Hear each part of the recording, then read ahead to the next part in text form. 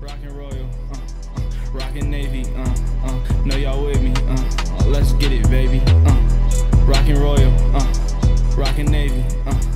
Welcome back to another episode of the Rocking Royal Podcast, the podcast for those who rock the Y on the pitch, on the field, on the court, and beyond. And number 22, BYU. Yes, I didn't mispronounce that, guys. BYU back in the top 25 for the first time in two years, little over two years.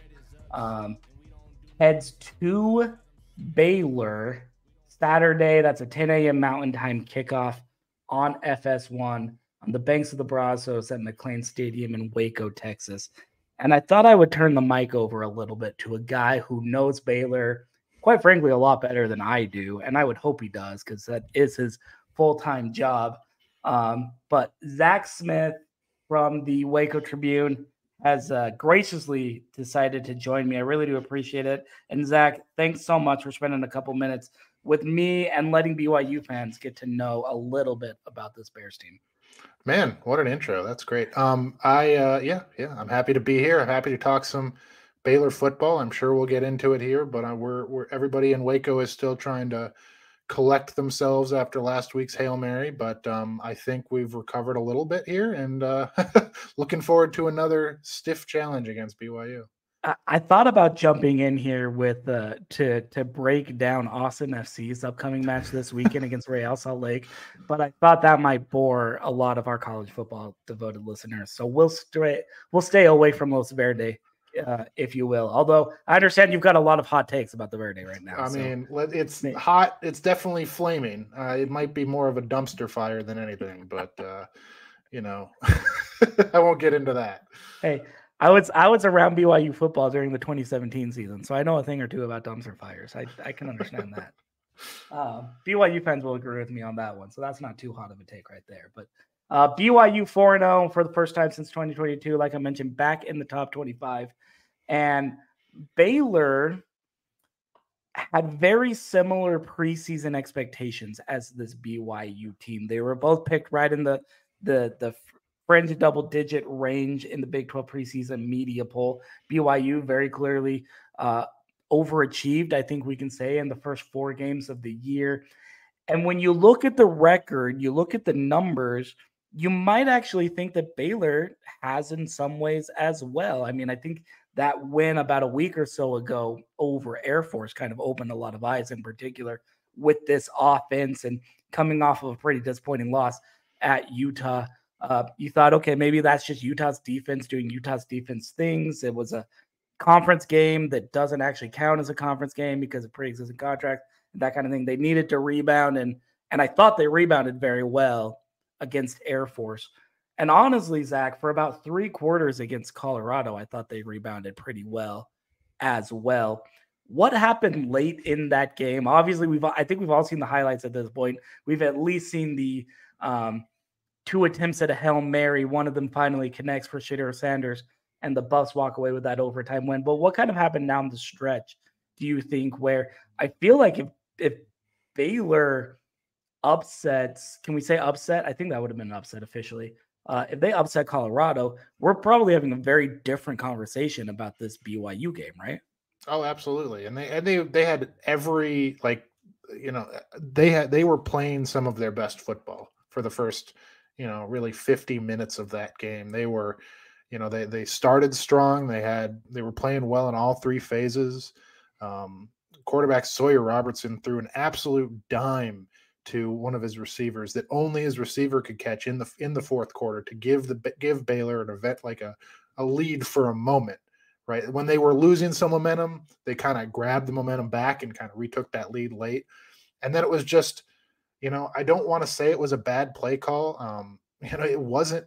I, I you understand kind of what Dave Aranda and the coaching staff was trying to do on that last hail mary. You know, um, I understand why they were rushing as many players as they did, and they didn't have a lot of players back and one of the cornerbacks fell down in front of the so there was just like a, a, like a bunch of errors things that just weren't necessarily bad decisions it just things kind of fell really really really really the wrong way for the bears. So um i, I wouldn't I'm not as like hyperbolic about that game and and say that it's like some sort of big collapse or anything because they played so well, like I said, for so long, and it was just kind of a really really good play by Shedeur Sanders and just kind of uh, kind of a fluky ending. Um, so you know, yes, I think it left Baylor stunned, it left Baylor heartbroken, but um, they're they're by no means done. They're no means you know going to just kind of roll over and let BYU walk all over them. So, you know, yeah, it hurt, and I think that there's definitely going to be some sort of um, kind of working your way out of that. But um, this is not a team that is going to just, like I said, lay down and let BYU walk all over them.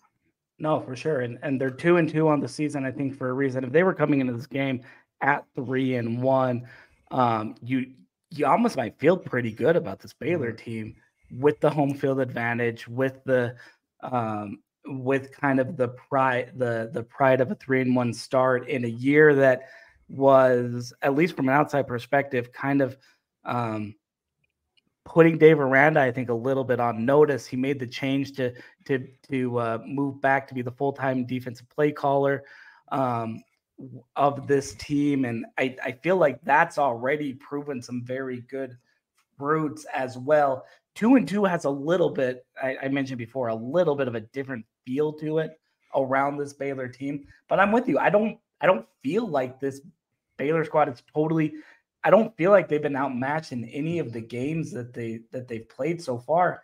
And maybe these words will come back and and totally bite me in the butt but like i saw some really good things out of that air force game. Again maybe air force isn't as as great of an opponent as as uh, as they've been in the past, but a 31 to 3 win over the Falcons is pretty impressive to me. And the way they played, in particularly against uh, uh, in Salt Lake City against the Utes mm-hmm. after Cam Rising got hurt. Now, Utah fans will say that was because Cam Rising left and the offense was discombobulated, and maybe there's some truth there. Isaac Wilson getting his first real minutes, uh, strong minutes of the season, and but I, I thought that Baylor team responded very well. I thought defensively they were very good after that Cam Rising in, um, injury and whatnot. And so there were bits and pieces of good to take from even from these two losses on the season where you realize this Baylor team isn't going to be um, kind of the the bottom of the conference team that maybe a lot of people expected at Big 12 preseason media days. Um, in a lot of ways. It's also a Baylor team that has a lot of a lot of I almost said shared history, but it's not a lengthy shared history. And yet for for as light as their shared history is, I feel like BYU and Baylor have a deep a deep one. There's there's almost like a connection hmm. as of the two private religious schools in the Big 12 conference. I know there's technically a third religious school, but they barely count anymore. They're trying to disaffiliate themselves from the church. We won't get into that for the sake of Bears fans out there, but Baylor, very proud Baptist University, BYU, obviously the flagship of the Church of Jesus Christ of Latter Day Saints. Um, and there, there was almost like this instant connection when the two became conference mates of like just sharing ideas or sometimes resources or uh, like it just an exchange of of conservative academic thought i think mm. was one of the one of the pamphlets i saw put out um, is when i went when i went to waco a couple of years ago when byu was ushered into the conference i, I just got this feeling of like baylor kind of appreciating byu being in the league with them is there still a little bit of a feeling like that around this university do you think Oh yeah, I, I, think that Baylor, yeah, Baylor and BYU are kind of kindred spirits in that regard. There, I know there's a lot of um, shared people on the on the coaching staff, and I and I obviously the we uh, Campbell and Clark Barrington transferred to Baylor ahead of last season, and Campbell is still here and has talked very highly of of BYU and his time there, and and I think that there's you know in a spot in, in college football like college football is where money flows freely and you know you know sometimes one big donor can take over a school and kind of transform it, right? You know, um, or, or or one big region like Texas Tech and oil country and all of that. Um, schools like Baylor and BYU still kind of that they're definitely in the NIL and they're still kind of looking ahead to the future of college football and what it's like, but there's still that you know they're grounded in some way. And i think that being a private school being a religious affiliated school i think that that definitely you know contributes to that factor. And and you know yeah so you know and, and you know they're both they're always traditionally good teams. BYU's a very good team and Baylor at least re, you know until recently has been a, a very good team. So that they always no matter what the situation they're in are going to produce some good football players and some good football teams so yeah I definitely think they are they're they're connected and they're they're kind of kindred spirits in that regard uh, a lot of it also goes back to the coaching staff. You touched on it some there. Baylor's Dave Aranda grew up in a lot of ways in his college football career on the uh, in the Beehive State. He was a defensive coordinator at Southern Utah, and then he was a defensive coordinator at Utah State under Gary Anderson, who took him to Wisconsin in 2013 as well.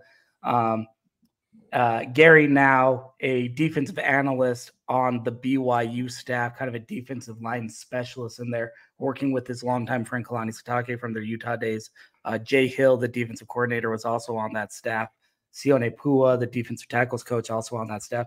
Um, they're basically just rebuilding a lot of their old Utah roots at BYU uh, in some ways. Also on that Utah State staff, though, uh, that I forget to mention was sometimes was uh, BYU offensive line coach TJ Woods, who spent, I think it was two years at, or no, a year, about a year and a half at Utah State uh, with Dave Aranda, with Gary Anderson, and then he went to Wisconsin with the duo for two seasons as well. So there's a decent amount of overlap. Um, and I know because of that, there's a there's a lot of respect between head coach Kalani Sitake and Baylor's Dave Aranda in some ways. I know Coach Aranda we touched on it some there, entered the season on a his I don't want to say fully on the hot seat, but his seat was warming up in some ways. And and that led to some some staff shakeups, some reorganizations. He took back play calling duties on the defensive side of the ball. That's worked out pretty well. Do you feel like that seat is still again not blazing hot necessarily, but maybe a little bit warm where these Bears need to get some results in order to kind of make Coach Aranda feel like he's a little bit more more firm on his in his footing? For sure, I without a doubt he is certainly still on the hot seat, and he knows that, and he's been very kind of, you know, sometimes he's a little bit too honest, in my opinion, um, with about everything, and and he's been very upfront with, you know, how he feels about his job and what he's doing, and you know, and he's he came at the end of last year when they finished with three wins um, he had this four point plan, you know, really, that was like, I'm going to change this, this, this, and this, and this is how we're going to get to where we want to be, you know, and you're starting to see. And so that was the whole story going through the spring into the fall was kind of this shift in vibe from Jay, Dave Aranda, who is a very uh, thoughtful person. He was a psychology major. He's a very soft spoken, kind of introverted. He's not what you think of when you think of a football coach. And so you've seen this shift in vibe. He's brought in Jake Spavital as his new offensive coordinator, who was a he coached Johnny Manziel. He was a you know uh, the head coach at Texas State down here. Uh, they shifted their practices from the from the evenings to the early early mornings.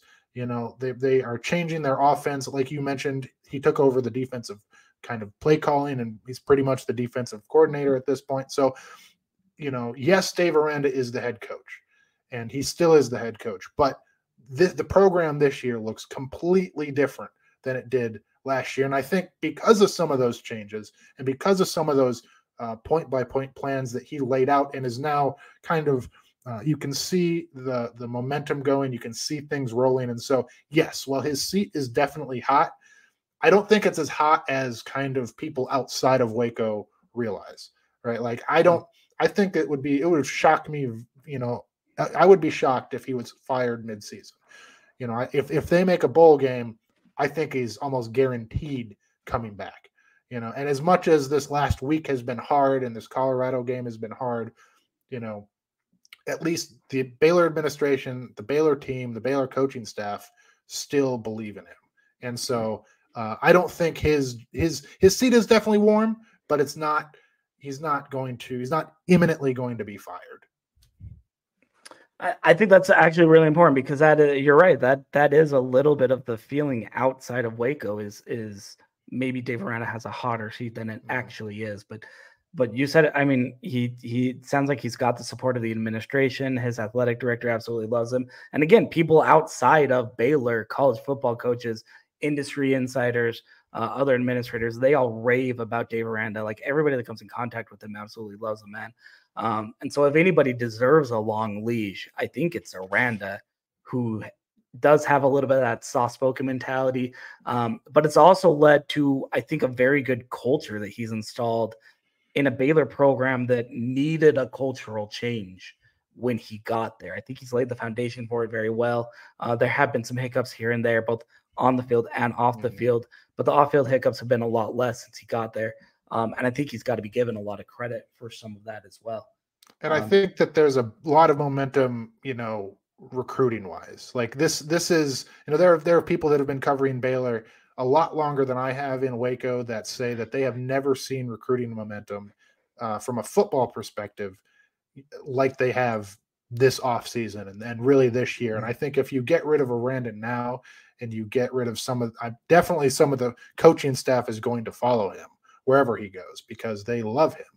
Um, and I think you're going to lose some of those recruits. And you know that's that's how you build your program. You can you can you know fill it with the transfer portal as he's you know kind of done, but you know that's that's also still a really big piece of this. And right now, he and this coaching staff have tons and tons and tons of recruiting momentum.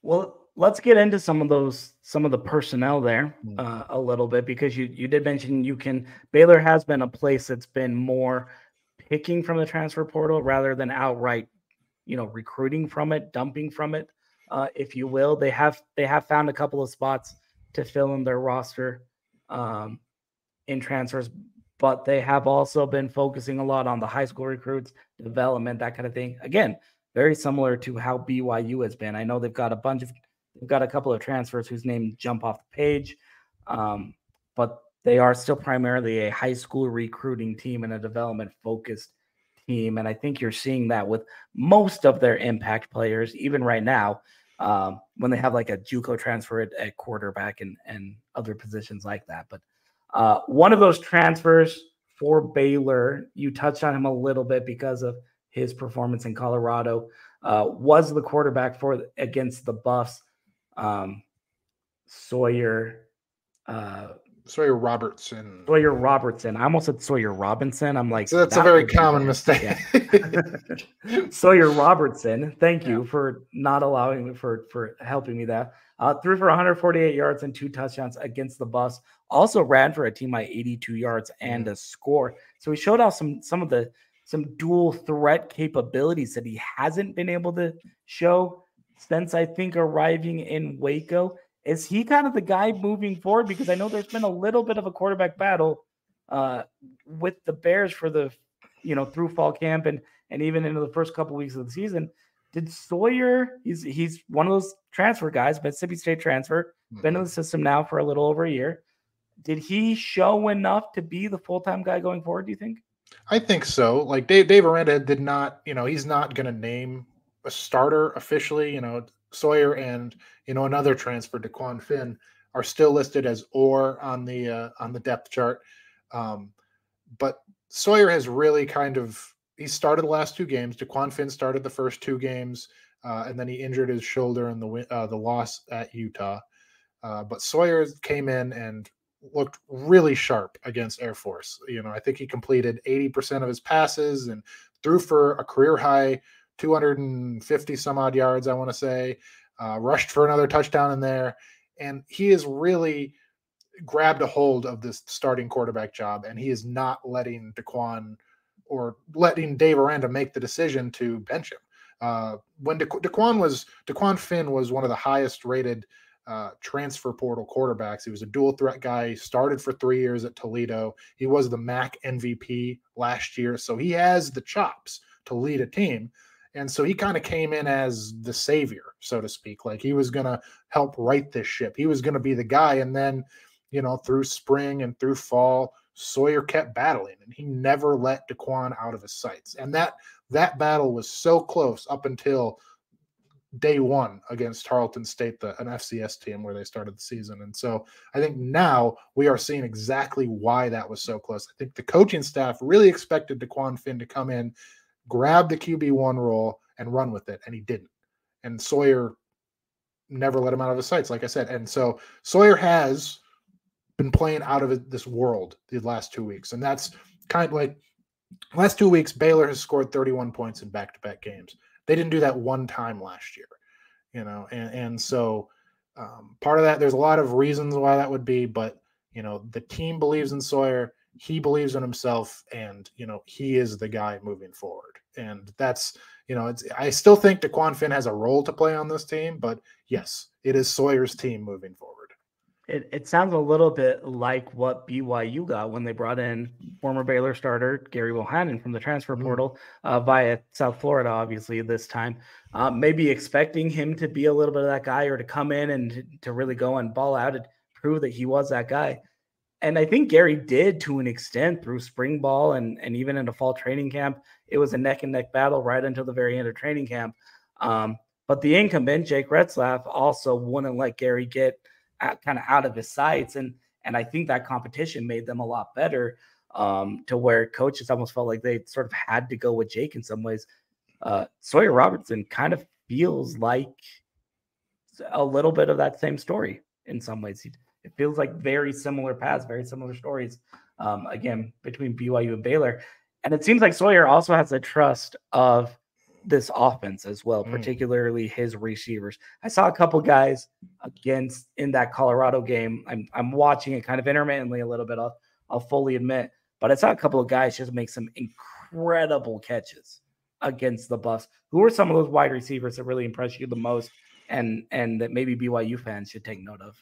Well, one of the the guy who probably made the most insane catch, one of the best catches I've seen a Baylor wide receiver make it over the last two seasons was Monaray Baldwin. Um, he's number four. He's a senior. He's he led the team in receiving last year, and he laid out. I think in, in the second quarter there, uh, you know, and he just he, he has freakish speed. I think he had uh, he was 98 speed in the new video game when that came out.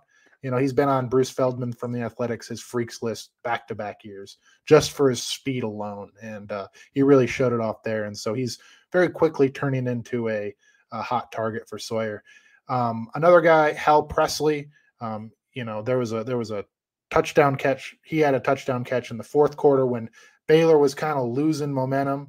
Um, you know, and, and and Colorado was coming back. The offense, Baylor's offense, kind of stalled. Sawyer threw a pinpoint pass where only Hal Presley could catch it. And uh, you know, I was talking to Hal Presley yesterday, and I, I said, Sawyer, he threw a pretty good pass to you there in the fourth quarter. He's, he looks at me, he's like, pretty good. He's that was better than pretty good. So um, I think there's really a connection between those two. So those are two receivers that I think can have a massive impact. And that I would say that the Baylor receiving room is the deepest on the team. So I could go very deep, but those are probably the top two. yeah. Well, we'll uh we'll we'll cut off there, I guess. Otherwise, we might be here for five or another five or six hours, and That's you've true. got stuff to do. I don't want to keep you away from actually covering a very exciting Baylor, Baylor team right now. You've got a lot to uh, to get in there as well. But Zach, what I really wanted to uh, bring you on this podcast and kind of introduce you to our readers over at KSL.com and in the KSL platforms um, was uh, I wanted to do some hard hitting journalism with you, mm. some capital J journalism. Waco and Provo, I feel um, have a little bit of similar vibes to them in some ways where they're they're not small towns anymore, but I definitely want to call either one a big city. They're centered around their universities in, in many ways. And I know there's Magnolia Street and Dr. Pepper people might think otherwise uh, um, for Waco. And, and Provo certainly has things to do outside of BYU, but the two, the two universities kind of play a, a fairly central role there. Um, if Saturday's game is anything like the last time BYU went to Baylor, um, I think there will probably be a lot of BYU fans that show up. There could be a decent amount of blue in stands. BYU fans travel very well. There are a lot of BYU fans in Texas in general. Um, and not all of them got into the game at SMU in Dallas, ironically. So they may be looking at this as an opportunity to maybe score some tickets to see their team a little bit closer to home. Um, but in the city of Waco, now it's going to be an 11 a.m. kickoff. So I don't know if there will be too much to do before the game. Obviously, that's that's so early that you're maybe talking about finding a good place for a breakfast burrito and then charging into the stadium. Uh, but BYU fans are also unique where they do want to experience a little bit of that, of that hashtag nightlife. um, but most of them also probably aren't going to go out and, and party and with certain uh, substances of imbribery, shall we say. Um, what what would you suggest as a local to the area? Uh, you and your wife now live in Waco. I, mm-hmm. I understand. So, what would you suggest for a BYU fan who's traveling to Baylor to kind of see, to do, maybe a place to go eat after the game, um, or or just or just well, what do what do they what do they need to do before they leave Waco and, and take advantage of this trip? Well, you mentioned Magnolia, and that, that like you can do that once, and you, you can spend twenty minutes in there, and you're probably good enough. So I wouldn't necessarily say Magnolia. Um, Cameron Park uh, is really really cool. It's right down along the Brazos, and you know there's plenty of walking trails and paths and stuff. And it's definitely not the mountains like in Utah, but um, there's some cool paths back there and just kind of walk around. I don't think it's supposed to be deathly hot, so that that'd be okay. There's a Cameron Park Zoo is a very it's a top tier zoo. Like for a town the size of Waco, the Cameron Park Zoo is amazing. You know, I think they just got a penguin exhibit too, so it's it's pretty cool to check out. Um, as far as food, like Waco does have some pretty good food, and if you want something like before the game or you know, a lunch. Uh, Schmaltz's Schmaltz's sandwich shop is pretty good. Um, the one downtown, I don't believe, is open on Saturdays. It's only open on Fridays. But there's another one that's not too far away that's open until I think four or something on Saturdays.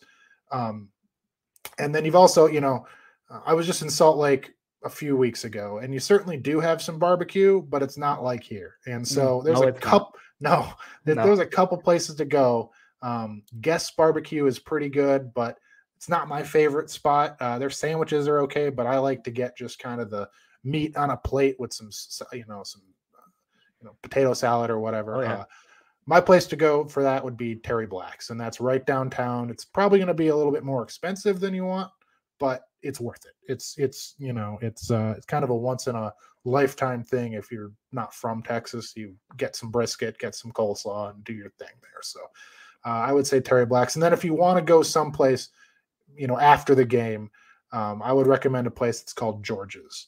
You know, it's it's across the uh, freeway from from the stadium, but it's been in Waco since the 20s, and it's an awesome like it's a bar and it's got you know burgers and sandwiches and stuff like that. They're known for the Big O, which is like a Philly cheesesteak kind of thing. Um, but their onion rings are the best that I have ever had. And it is, you know, that if you want to go to a place that's quintessential Waco, go to George's and and you won't be disappointed. So hopefully that covers all your bases. Yeah. Like I could go on for food and stuff to do forever. That's my favorite thing to talk about. So the George's for post game. Mm-hmm. Uh, head head up Terry Black's for good barbecue. Yep. Um, right there. Maybe barbecue on the way in, or or barbecue on the way out if you really want. Um, but yeah, I, I agree. I think anytime anytime you're in the heart of Texas, like Central Texas, you have to find the right barbecue place, and Terry Black's is the one in in Waco. Then. To, and if and if you know, I, I, Real Salt Lake apparently plays in Austin that night on Saturday night. So any fans that are going to make that trip, there are Austin is a far better barbecue spot. As I lived in Austin for six years before I come into for before coming to Waco. So there's if you want better barbecue, Waco people stop listening now. Um, it's in Austin, but Terry Black's is is pretty good. What's what's your top uh what's your top barbecue place out around Q2 Stadium if if anybody's trying to make the BYU RSL doubleheader? The closest one that is worth it is it's called Interstellar, and it's it's mm, it, it's I've heard a, of this. I've yeah, heard of Interstellar. It's, in a uh, it's in a bit of a strip mall in one of the suburbs to the north, but um, it's kind of on the way, and it's you're gonna wait in line, but again, and you're gonna spend more than you want, but it is, yeah, it's worth it. It's life changing. It's a life changing meal. so uh, yeah, that's but get there early because they Yeah. run out pretty quick. Okay, so Interstellar in Austin, Harry Black's in Waco, um, or just go pick up a burger and onion rings from George's after the game. There you go. Uh, either way, and you can't go too wrong. Um, also, unless you're a huge, unless you're a massive fan of Chip and Joanna, maybe avoid Magnolia Street because if you've been there once, you've been there a thousand times, and it. You didn't say overrated, but I'm hearing a little bit overrated. Well, you know, and, and I'm I guess I'm not the target market for that. Like my wife loves it, but also she watches that channel. She watches Magnolia Network all the time, right? And doing all the fixer uppers and all that stuff. And you know, even like she was like she went. I think she got a cookbook, maybe a candle, you know, and she's like, "All right, like cool, like like it was cool. Like she's glad she did it, but you know, whatever." So uh, I don't. They they do a lot of stuff with Baylor, and I know they've given a lot of money, and they've, you know, you know, pumped a lot of money and interest into Waco. So I can't really fault them for that. But uh, it is a little bit of a, you know, it's a bit of a tourist trap, if you can call one. yeah for um i i uh yeah i think that's that's probably that's probably pretty accurate i'm a chip and joanna guy i mean i fix her up all day every day but um yeah if you've been there once you've probably been there enough for like 20 visits it is Pretty much. it is definitely it is definitely more for tourists and for locals as well so um i can only understand i can only imagine how your wife feels being a fan of that show and having the chance to go there every day she probably doesn't go there every day, even as a fan of the show. Definitely not. Yeah. Yeah. Well, uh, Zach Smith from the Waco Tribune. Uh, what's the best way for uh, BYU fans that maybe want a good feel for this Baylor football team to to follow you to support your work and to check out what you're what you're writing about what and what you're covering with this Bears program? Yeah, follow me on Twitter or X or whatever it's called now, by Zach Smith, at by Zach Smith. That's my Twitter. I tweet out pretty much every story there and read out uh, read us at wacotrib.com. So we've got plenty of coverage, you know, all week, every week. It's, it's around the clock. So yeah. Zach Smith from the Waco Tribune. He covers Baylor. He uh, he's also a longtime Austin resident, so he's he's a little bit of an outsider on the beat, uh, which I think is a good thing. I think it's a good thing. WacoTrib.com is website. By at by Zach Smith uh, on. We're gonna keep calling it Twitter. I just It's can't Twitter. do this X I'm thing. calling I can't Twitter. do it. I'm sorry, guys. I'm sorry, Elon. I can't do it. Uh, at by Zach Smith on X. Zach, thanks so much for joining me. Really do appreciate it, man. Uh, really appreciate you giving a little bit of local flavor to BYU fans and maybe making the making the trek to Waco. And uh, I'm sure we'll both see plenty of them on Saturday. Happy to do it. Thanks for having me. Look uh, looking forward to the game. Too hard, ow, I hurt my neck. Hey, lick you good, bro? I'm about to hit up Brett. Man, them Utah State Aggies, man, they just some pets. Catch us out in Vegas, you could place your bet. Coach G up on our side, so we never pressed. Praying meetings every day, so we never stress. Rockin' Royal, rockin' Navy. Uh, know you with me. Let's get it, baby. Rockin' Royal, rockin' Navy. Uh, know you with me. Let's get it, baby.